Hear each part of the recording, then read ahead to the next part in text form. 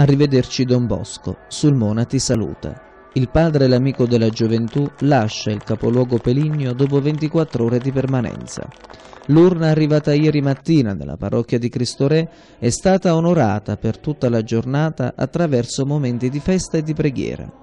Non è stata mai lasciata sola dai fedeli che hanno reso omaggio a un grande uomo, San Giovanni Bosco.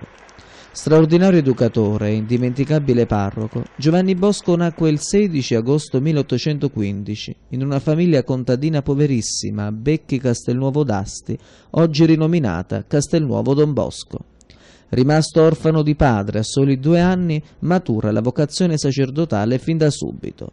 Nel 1841, giovane prete, arriva a Torino e comincia ad esplorare la città per farsi un'idea delle condizioni morali dei giovani ne rimane sconvolto. Ragazzi che vagabondano per le strade, disoccupati, sbandati e depressi, pronti a qualsiasi cosa. Rimane inoltre profondamente impressionato dal constatare come tanti di quei ragazzi prendano presto la via delle patrie galere. Capisce che non può rimanere indifferente a tutto ciò e decide di agire per cercare di sanare come può la difficile situazione. Aiuta dunque i ragazzi a cercare lavoro, si prodiga per ottenere condizioni migliori a chi è già occupato e fa scuola ai più intelligenti. Nasce così, nella periferia torinese, il primo oratorio. Don Bosco, ricordato come fondatore della congregazione salesiana, si dedica di lì a poco instancabilmente ai giovani e ai ragazzi. Siete ladri, mi avete rubato il cuore, si legge in uno dei suoi scritti. Don Bosco, che morì nel 1868, venne dichiarato prima beato nel 1929, poi santo nel 1934. Nel 2008 iniziò il suo pellegrinaggio mondiale. Nella giornata di ieri è approdato nel capoluogo Peligno, una giornata storica per Sulmona, per la Chiesa diocesana e per la famiglia salesiana. Cosa ha lasciato la sua visita nel cuore della nostra gente? Ascoltiamo alcune testimonianze. Alla famiglia salesiana ha lasciato tanta stanchezza innanzitutto perché i ragazzi sono due settimane che non, eh, che non, tornano a casa nemmeno per mangiare e tanta gioia sicuramente, tanta commozione. Io sono stato diverse volte a Valdocco, mm, ho trovato una commozione diversa nel vedere Don Bosco qui a Sulmona.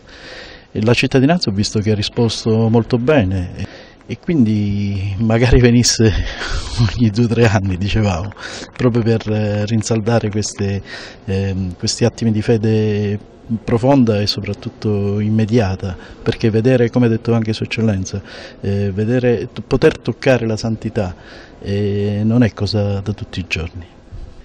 Don Bosco, la sua presenza qui anche nella nostra comunità, nella nostra città, naturalmente eh, ci ha fatto eh, anche capire che la sua presenza eh, è la presenza nello stesso momento di tanti giovani, di tante persone, capito come eh, questo santo è importante nella vita eh, nei giovani, nelle famiglie, soprattutto il suo sistema educativo.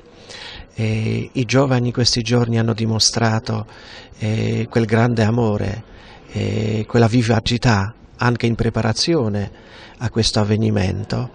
E noi certo visibilmente possiamo dire che, che questo amore lo vediamo e lo abbiamo visto eh, nella presenza di tanti giovani, tanti bambini, tanti ragazzi e tante persone, ma noi come anche sacerdoti eh, vediamo spiritualmente eh, questa presenza, eh, questo amore verso Don Bosco, anche chiamata di Don Bosco che chiama eh, anche alla vita spirituale più profonda che noi potevamo sperimentare soprattutto durante eh, le confessioni, durante quei momenti di preghiera che erano veramente le testimonianze di, di fede profonda, soprattutto dei giovani.